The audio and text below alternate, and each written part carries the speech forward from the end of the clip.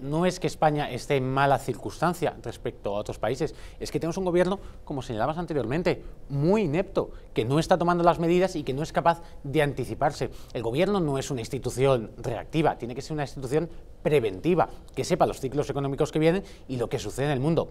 Claro, si aquí lo que estamos es a las mesas de negociación con un trator, si estamos a las políticas de feminismo de Podemos y si lo que estamos es al pasteleo de Sánchez, pues claro, no estamos centrados en lo importante, es que en el Ministerio de Economía no están en esto, están en otras cosas y cuando viene la ola nos lleva por delante. También, también tenemos un problema, señores, de que aquí en este país ni este gobierno ni otros anteriores han definido claramente un mix energético adecuado. Totalmente. Con lo cual nuestra dependencia energética ha estado siempre cogida con pinzas y ese excesivo medioambientalismo que nos ha hecho apostar en gran medida por las renovables, cerrar las nucleares, nos ha dejado en este momento una situación mucho peor que Francia, que ha apostado por las nucleares. A la que le compramos, por cierto, la energía nuclear. A la que le compramos energía nuclear al precio al que nos lo quieren vender.